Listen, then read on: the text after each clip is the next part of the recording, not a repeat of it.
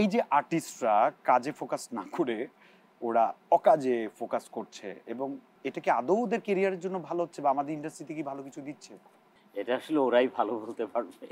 না আমি অনন্ত ভাইয়ের কাছ থেকে জ্বলন্ত উদাহরণ উত্তর শুনতে চাচ্ছি। আর জ্বলন্ত উদাহরণ হচ্ছে হলো আসলে এগুলি না করাই ভালো।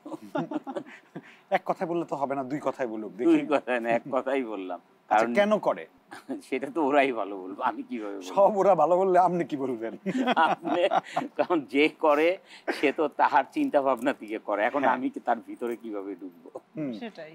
ওকে। তবে আমার কাছে মনে হয় যে ইদানিং যে জিনিসগুলো হচ্ছে আসলে যে বা, স্বামী স্ত্রী এইসব বিষয়গুলো সংসার না টিকলে না টিকুক ঠিক আছে? আমি তোমার সাথে ঘর করব না হতে পারে। কিন্তু ওই যে যেভাবে হচ্ছে আর কি এটা কিন্তু যারা এখন যারা টিনেজার যারা পোলাপন এরা কিন্তু সারাক্ষণ এগুলোই দেখে।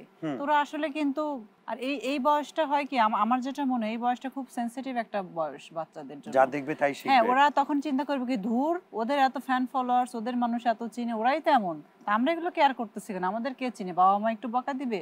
এটা হয় কিন্তু এটা বাস্তব। আমি এটাই বলছি কারণ কারণ এই সমস্ত জিনিসগুলো আসলে চিন্তা করা উচিত। সংসার টিকবে না টিকবে না ভালো কথা পড়বে না তোমার আমি ঘর করব না। কিন্তু এই যে এক্সেস কিছু মানে যে সব সামনে নিয়ে এসে সারা পৃথিবীকে দেখায় দেওয়া এগুলো যে কেন মানুষের সিম্পেতিও তো পায় না। মানুষ তো বকাই দেয়। মানে তোমরা কিন্তু তোমাদের এই যে পরিবারের গল্পটা বললে এই যে দিন কি করো রান্নাঘরে ভাইয়া এসে বলে এটা দিও তো ওটা দিও তো।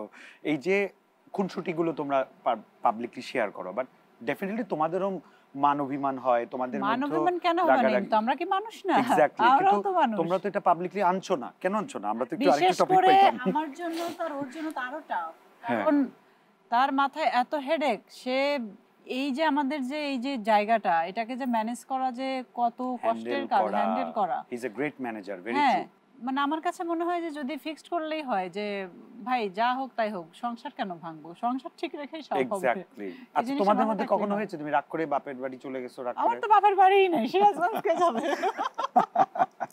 আচ্ছা তো এটা একটা সুবিধা না? হ্যাঁ, ভালো কথা মাঝে মনে হয় কিন্তু আমার আশেপাশে যদি আমার বাবা মা চাচারা সবাই থাকতো তাহলে যাইতাম। গো। হয়তো দুই দিন পরে আসতো। দুদিন বুঝতো আমি না থাকলে কি হয় এই সংসারের আচ্ছা এই বারো বছর পরে প্রায় বারো বছর তো হয়ে গেল সংসারে। এখনও কি মনে হয় যে দুজন দুজনকে পরিপূর্ণভাবে চেনা হয়েছে বা জানা হয়েছে? কারণ আমরা কিন্তু প্রিয় মানুষটাকে ভালোবাসা মানুষটাকে প্রতিদিন নতুন ভাবে আবিষ্কার করি নতুন ভাবে ভালোবাসি আমরা। সো এই বারো বছরে কতটুকু পূর্ণতা এসেছে তোমাদের এই ভালোবাসার সম্পর্কে? না আমরা তো আসলে একজন আরেকজনকে চিনি চোদ্দ বছর। হুম। আমরা টু এইট থেকে। এই অনেক দিনে একজন মানুষ আরেকজনকে তো চিনতেই পারে। তিন চার মাস একসাথে থাকলেই তো তার ক্যারেক্টার সম্বন্ধে জানা যায় তার নেচার সম্বন্ধে জানা যায়। আর আমরা তো অনেক দিন ধরেই। না চিনার তো কারণ নাই। আচ্ছা ঠিক আছে। কে কতটুকু চিনছে জানছে আমি কিছু প্রশ্ন করব। এটা ওপেন কোশ্চেন যে কি উত্তর দিতে পারো।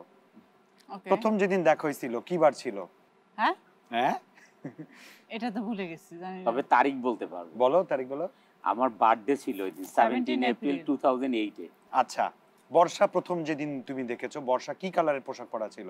আমার মনে আছে। কি কালার পরেছিল আমি সত্যি সালোয়ার কামিজ পরা ছিলাম বাট ওভাবে দেখে নাই।